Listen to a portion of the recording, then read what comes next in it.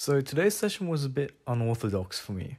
Um, I'm never really used to resistance bands. They're a completely new tool that I've only recently implemented, and um, you know, I'm actually really starting to like how well you can manipulate it for um, intensity and specifically isometric holds.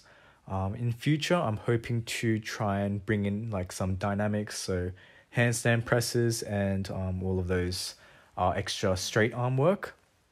But for now, there's still there's definitely a lack of experience, and I'm very naive about the freedom and the potential of these resistance bands. Now, another thing that I wanted to mention was is that I only did straight arm isometric stuff specific for the planche in this session. Um, for my bent arm, for my dynamic bent arm work, I opted for some weights and I did like bench press, um, incline bench dumbbells, and overhead press. Surprisingly, I've realized that um, the planche sessions and or a lot of the bulk shoulder work that comes with these sessions is not going to waste. I am actually improving in strength and it's objectively shown in my overhead press. I'm feeling a lot stronger. Um, I hardly ever touch overhead press. Last time I touched it, I think I attempted 60 kilos for like one rep. I managed to do that, and I do remember that um, it, it was a very unusual feeling.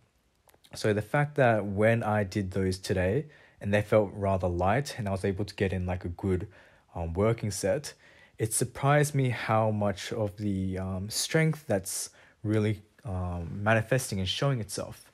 Now, um, going into the straddle, going into like the planche specifically, I think um, I'm going to be putting in the resistance bands as a clear um, as a clear training method uh, method to just like continue and use as a staple form of work and stimulus for the rest of my planche gains.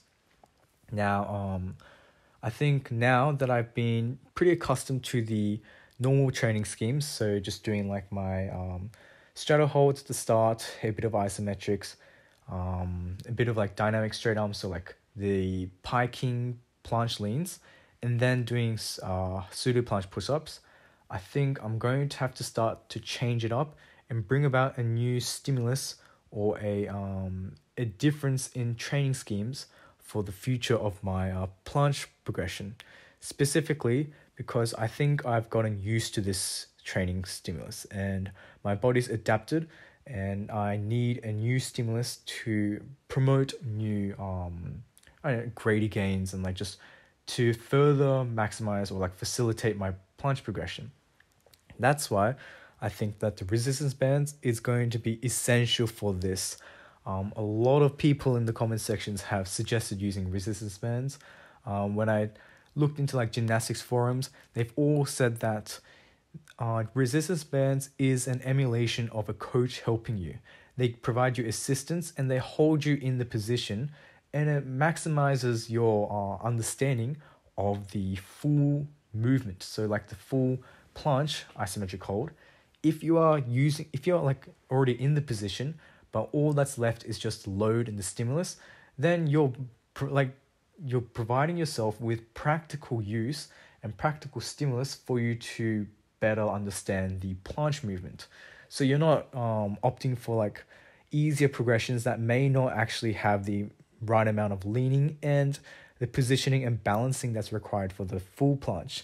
This is something I'm always advocating for. So like why am I always doing short isometric holds and why am I going for like high intensity?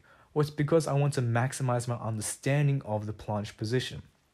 So that means with resistance bands, I'm able to opt for easier um, easier loads, but with the same planche variations. So I'm able to do like the straddle planche, but for longer durations, or even do the full planche for uh, specific durations, but with easier load, load management, thereby allowing me to maximize the neurological understanding while maintaining the strength potential and the, I guess, like the integrity of my own strength demand.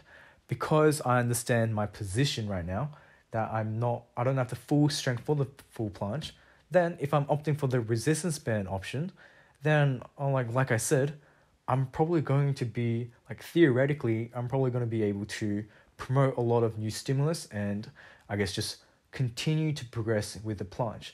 I'm really so basically I'm really looking forward to the potential of resistance bands and I'm going to try and make it a staple form in my future planche sessions. So yeah, that's basically it and I'll finish it off here.